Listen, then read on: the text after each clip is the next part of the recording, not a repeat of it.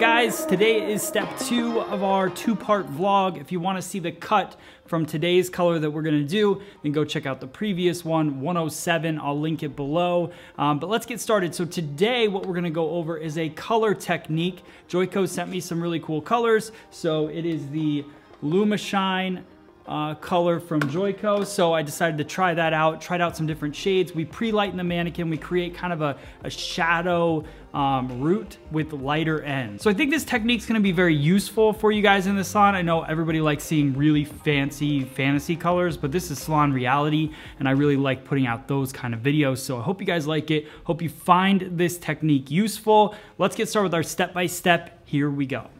So prior to the coloring technique, we need to pre-lighten our guests. So we're starting out at a level five. I want to lift them up to an eight, nine level. So I'm using Joico Free Play. This is a clay lightener.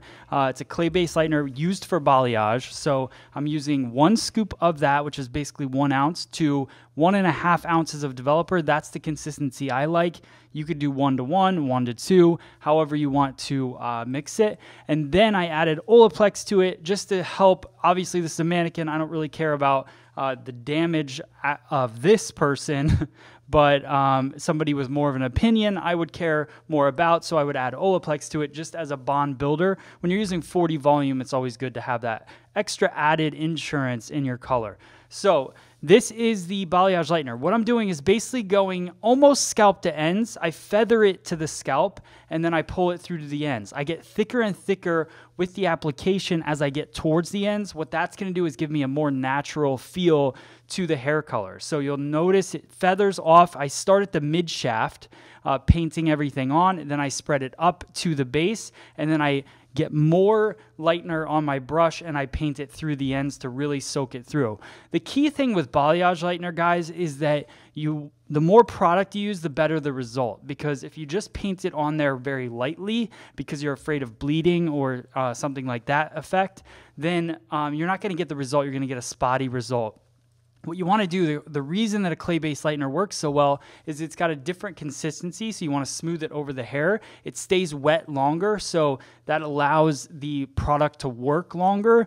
And also, it kind of incubates the hair as it's lightening. So instead of using a foil, which is where we would really pack it in to get that heat, um, you use the balayage lightener in that way to incubate the hair and really seal it and allow the light uh, the lightening process to work. So I work my way all the way through the head shape. Uh, through the head shape, that's more of a cutting term, but uh, I work my way through the head and I'm just painting this lightener on exactly the same throughout the whole thing. I don't want to that's why I sped it up so quickly for you guys. Just key things again, make sure that you feather it towards the scalp. Don't go all the way to the scalp. We're gonna create a more natural uh, rooted look anyways with this technique. So I didn't need to go to the scalp. I also left the short disconnection that we cut in the haircut portion uh, on our last vlog. I left that out because I'm just gonna color that with a deeper color as well.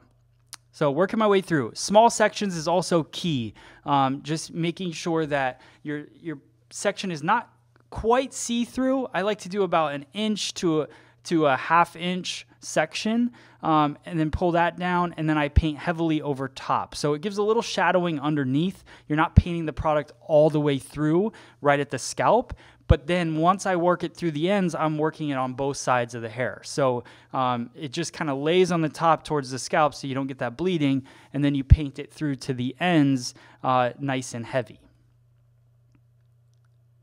So we're finishing up our last little bit. Um, again, keeping the consistency, uh, feathering the color. I think the biggest challenge I see when people do this this type of technique is that they just don't use enough product. So make sure that you're using the product uh, thoroughly throughout the technique, and you'll be good to go.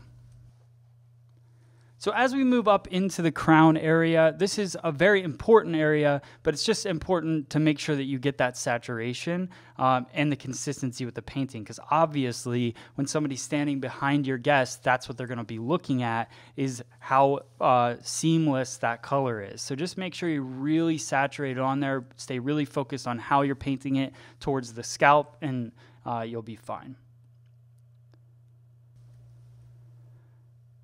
So another thing you can look at, look at the way that I'm holding the brush. I don't hold the brush flat against the hair. It's kind of at a diagonal. Um, what that's gonna do is just give me softer lines once you start painting onto the hair. So instead of going horizontally straight at the hair and creating really hard lines with the uh, lightener placement, you go in at an angle, you lightly feather at the base, and you get a, a softer, more diffused look.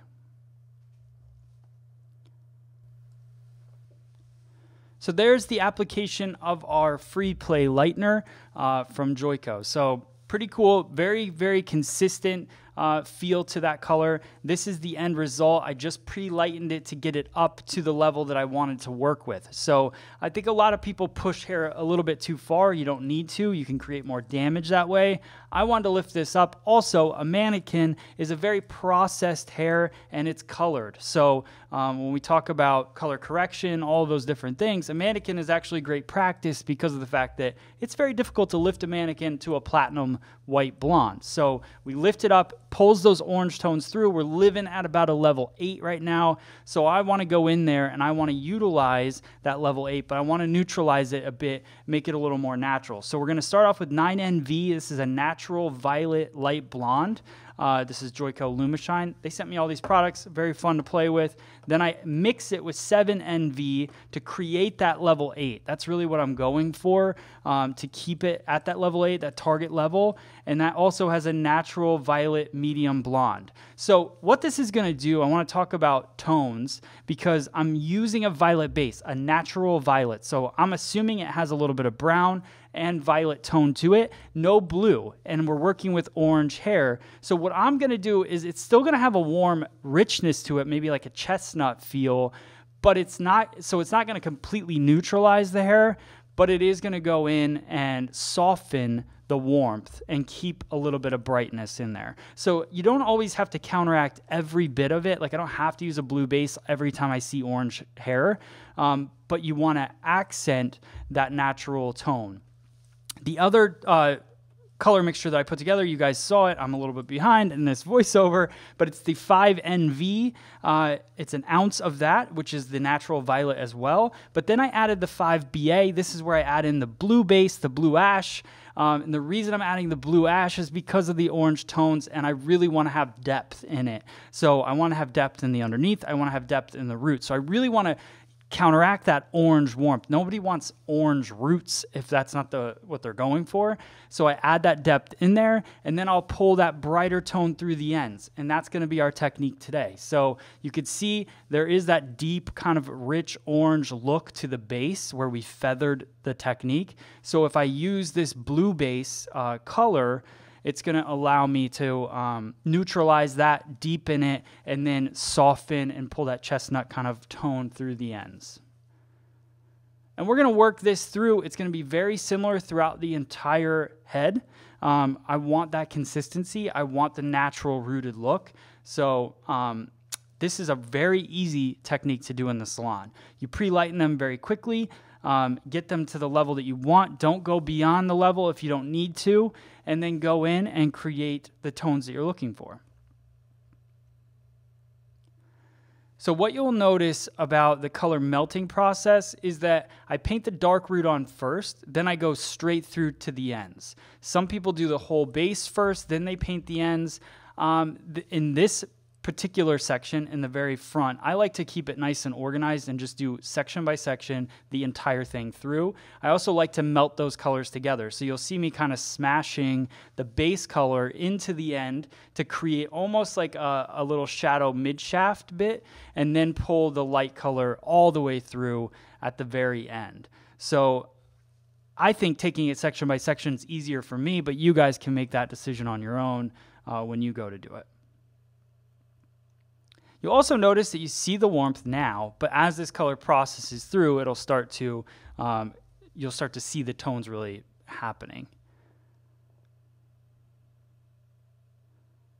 So again, that dark base, level five. So I went one shade darker than they would naturally live. Um, that really for me, that's how you can really control tone. So like, let's say we wanted to control this, this level eight. We go a little more towards a level seven and use our color, that's gonna control it better than trying to counteract it at the exact level that it's at. So adding that depth in and then pulling that light through. Now in the back, I'm gonna do a quicker technique to which is because the hair is a little bit shorter. I'm gonna go through do all the base and then I'll do the ends at the very end. So just switching it up a little bit. We talked about there's different options. This is the other way to do it. taking vertical sections, painting the base on. Um, the reason I'm taking vertical sections is that allows me to control how deep I'm going with that root a little bit better. Uh, when I went horizontal before in the past, it just seems like uh, because the hair is shorter, it was a little harder to control that. So I go vertical. I'm going to go vertical all the way through the back, and then we'll paint the ends.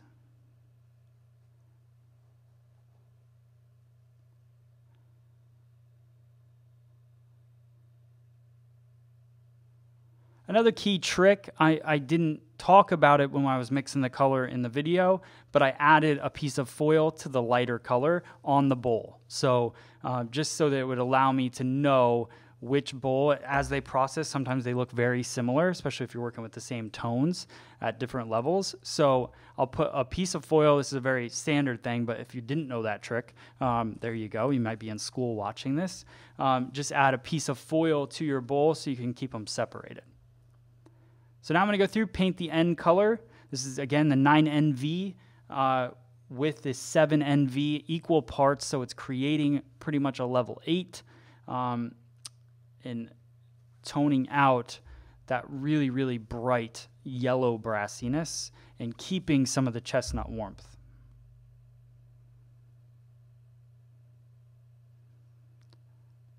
it may look repetitive in the amount of times I'm working that hair, especially when it's sped up. You can kind of see how it just keep working it back and forth. But the worst thing is when you don't put in that effort, and then at the end you start seeing spots that you really wish you would have put a little more coverage on. So really, just make sure that you're thorough uh, with coloring hair.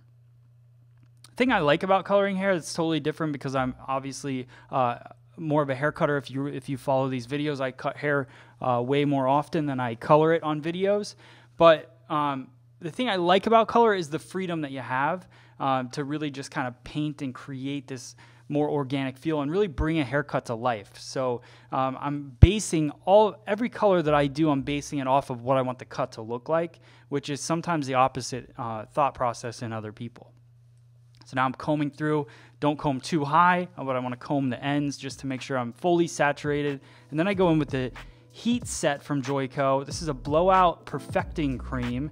Um, the cool thing about this uh, product is it's a heat protectant. I really just wanted something with a really light hold. I'm also gonna iron the finished look with a, a Vibra-Straight iron. So I just wanted to make sure that I had um, the protection in there. So this is the end result. You can see the deep base that we have and the chestnut ends. Um, pretty, I love the results I got with this hair color. This is the first time I've used these tones and I really like the result. So I hope you guys like it. Hope you can utilize this in the salon. Let me know in the comments below and tag me on Instagram at Free Salon Education with the results that you get uh, when doing this technique on your clients. I would love to see that. So tag Free Salon Education on there. Also, get 20% off on freesaloneducation.com's online store if you use the code MattBeckVlog at checkout. Uh, you can get 20% off almost everything. And we have a free partnership program where we do live classes every month. So check that out on our website as well. And if you like this technique and you're not a hairdresser, find a salon at hairsalonlocator.com. That is our website uh, where we have all the salons that follow what we do online uh, on that website. So check it out. Thank you guys so much for watching. Make sure you subscribe. I'll see you guys on the next video. Thanks.